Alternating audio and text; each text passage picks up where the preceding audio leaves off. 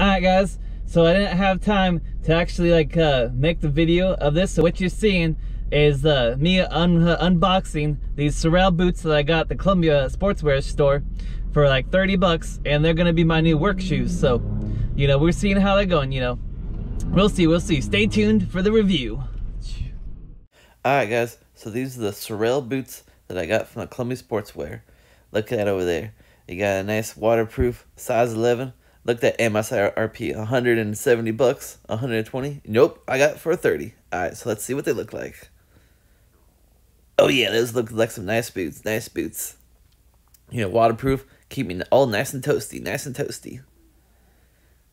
Oh yeah, nice color, nice color. See what they look like. Oh yeah, oh yeah. Nice, nice, nice, nice. Alright, so if you like this content, make sure you smash the like button and subscribe. Oh, now we got them on our feet. Now we got them on our feet. How they look, guys? How they look, guys? Let me know in the comments below. Alright, guys. Alright, guys. So these uh, Sorel boots I've been wearing, man, they're really good. They're really good. I can't believe I only got them for 35 bucks.